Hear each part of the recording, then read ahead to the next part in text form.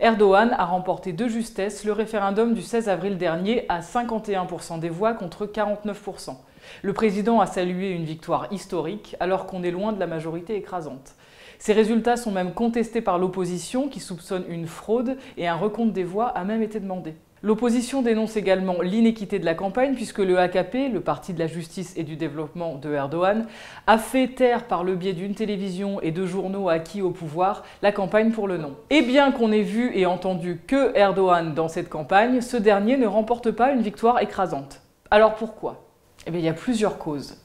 Erdogan a perdu sa majorité dans les grandes villes comme Ankara et Istanbul, qui ces cinq dernières années pourtant étaient acquises au AKP. À cela s'ajoute le déclin économique que connaît actuellement le pays et les purges massives de journalistes, d'intellectuels, d'opposants politiques, d'universitaires depuis la tentative de coup d'État du 15 juillet 2016. Et enfin, la Turquie est un pays profondément divisé, tant au niveau religieux, idéologique, ethnique, social et politique. Et c'est de ces divisions-là dont je vais vous parler aujourd'hui, car elles sont aussi à l'origine des divisions politiques du pays.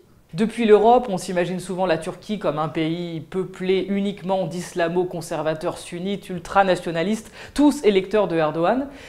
C'est en partie vrai, et c'est en partie faux. On ne trouve pas que des musulmans sunnites en Turquie. Il y a aussi des Alevis. C'est une branche de l'islam soufi qui contient elle-même plusieurs variantes. Cette communauté est persécutée depuis l'époque ottomane.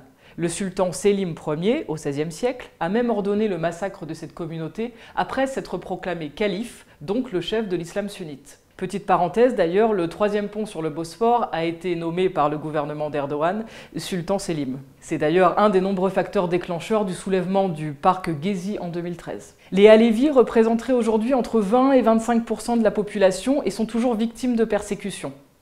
Une partie est pratiquante, l'autre ne l'est pas du tout, voire est franchement athée et très à gauche. Mais qu'ils soient religieux ou non, les Alevis ne votent pas pour Erdogan. Ils sont attachés à la laïcité puisque ça leur permet de pratiquer librement leur culte et ils soutiennent donc pour beaucoup le Parti social-démocrate, le CHP, parti fondé par Atatürk, ou même le HDP, le parti marxiste pro-kurde. Et puis il y a les Kurdes en Turquie. Ils représentent environ 18% de la population.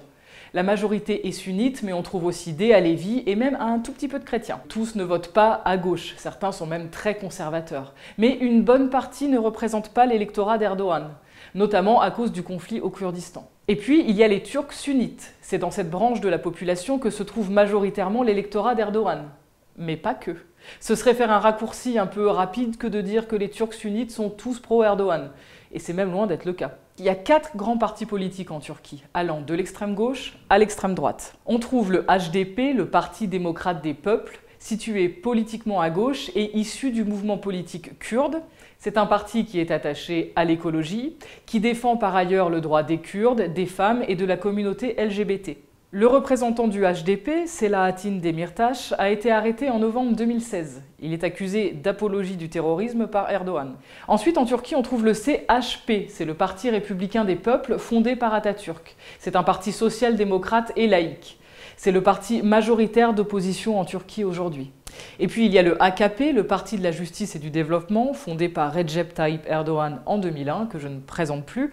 Hein. c'est un parti de droite, islamo-conservateur, et c'est un parti qui voulait au départ réconcilier religion, politique et modernité, et qui petit à petit a basculé dans ce que l'on connaît aujourd'hui. Et enfin le MHP, le Parti d'action nationaliste, d'extrême droite donc, et ultranationaliste, comme son nom l'indique. Ce parti est assez proche du AKP. Son président, Devlet Bahçeli, a même fait campagne pour le oui au référendum aux côtés de Erdogan. Toutefois, le parti s'est divisé sur cette question du référendum et une partie du MHP a fait campagne pour et une partie a fait campagne contre. Alors, aussi divisé que soit la société turque, le vote pour la réforme de la Constitution est passé et Erdogan a bien l'intention de réformer, même en force. On sait qu'Erdogan est prêt à tout pour se maintenir au pouvoir, on l'a déjà vu. Par exemple aux législatives de 2015, où lorsque le HDP, le parti pro-kurde, a fait son entrée au Parlement avec 10% des voix, Erdogan a relancé le conflit armé avec les Kurdes et s'est ainsi imposé comme le seul à pouvoir maintenir la sécurité du pays. Cela lui a permis de relancer des élections législatives et de rafler la mise. Un vrai pompier pyromane, quoi. La tentative de coup d'État de juillet 2016 a elle aussi été profitable au président, puisqu'il y a eu des tas d'arrestations d'opposants politiques, un muselage de la presse, des évictions d'universitaires de gauche, etc., etc. On peut donc s'attendre à un accroissement des tensions dans le pays et un accroissement des tensions avec l'Union européenne aussi. Un rapport de l'UE paru ce lundi condamne les résultats, les jugeant trop peu crédibles. Et Juncker a annoncé que si la peine de mort était rétablie en Turquie, cela entraînerait définitivement la fin des négociations sur l'entrée de la Turquie dans l'Union européenne. Erdogan a fait une campagne très anti-européenne, hein, ressemblant beaucoup sur certains points aux propos que l'on peut entendre de la part des eurosceptiques d'extrême droite en Europe. Souvenez-vous des affrontements verbaux très violents en Hollande entre Wilders et Erdogan, les meilleurs ennemis quoi. L'un nourrit la campagne de l'autre. Cela nous pousse donc à nous poser cette question. Quelle Europe voulons-nous à l'heure où les nationalismes s'exacerbent et où la Turquie se déchire?